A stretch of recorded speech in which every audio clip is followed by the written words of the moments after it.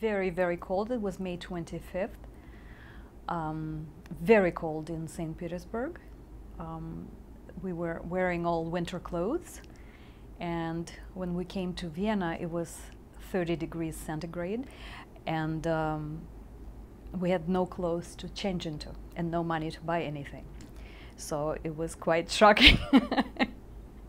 and then, of course, seeing um, all the stores with everything that we saw in catalogs. And for some reason, I was not really surprised. It seemed very natural because I saw it in magazines.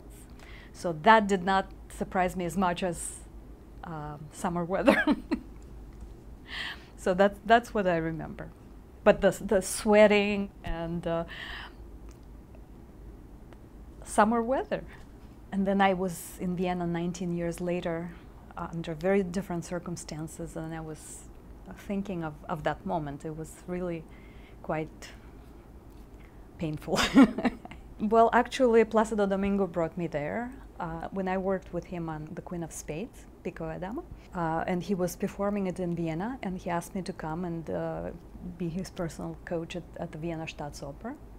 And it was exactly 19 years later to the day. I was in St. Louis for two years. I went to school there, and then I, I got my bachelor's, uh, learned to drive, learned some English, and then I met um, a person who became my mentor and my very good friend, who was a very famous accompanist and um, played for most famous singers um, of the century, last century now. Um, and I knew his name from Russia because he played for Arkhipova and Obraztsova. John Wustman, he uh, was and is a very famous um, coach accompanist who um, worked with Luciano Pavarotti, played for Birgit Nilsson, Mirella Freni, Renata Scotto, Carlo Bergonzi. So he was a very influential person in my life. He was one of the first people I met in St. Louis. Um, and then I went to study with him at the University of Illinois in Champaign-Urbana, and that's where I spent three more years before I moved to New York.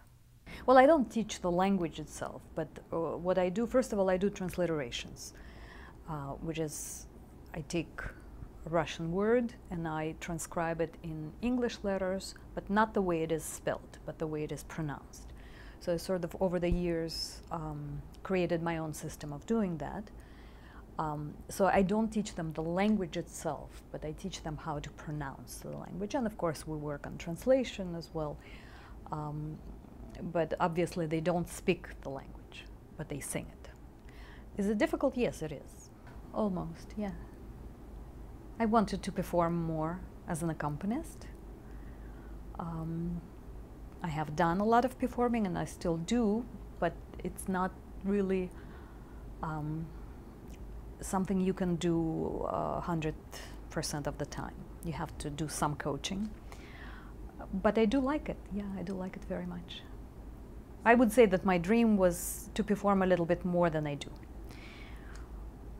So let's say 80% of my dream came true. you know, honestly, I wasn't hoping for anything. I, um, I knew what I was leaving behind, and I had no idea what was ahead of me but I knew that there was nothing for me there. My father passed away um, six years before we immigrated, and uh, it was me and my mother who was not very. Uh, she was a very shy and passive person.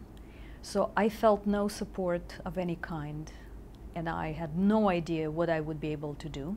I never really felt nostalgia, but I always felt like I was missing my friends, and I oh, I was always happy to go back and to see them. And this time, I felt like, come over here. you know, when we left, um, I could still communicate with my friends, and we would write to each other, even though it was kind of dangerous for them. But then, after three years of being here, everybody stopped writing some of them were um, afraid, some of them were warned, not maybe specifically about writing to me personally, but I think the climate was so bad that all of them stopped any kind of communication. Um, I still have all the letters that I wrote to them when we came here. so that would be interesting one day to read, because I'm sure I don't remember um, a lot of things that I will find in, in my own letters. But I made, actually, it was very interesting because I made sure that I copied every letter I ever wrote because I, I, I wrote very, very detailed letters of what was going on, where we were, how things were going, what was happening.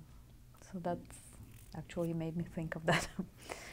um, so th there is a story somewhere.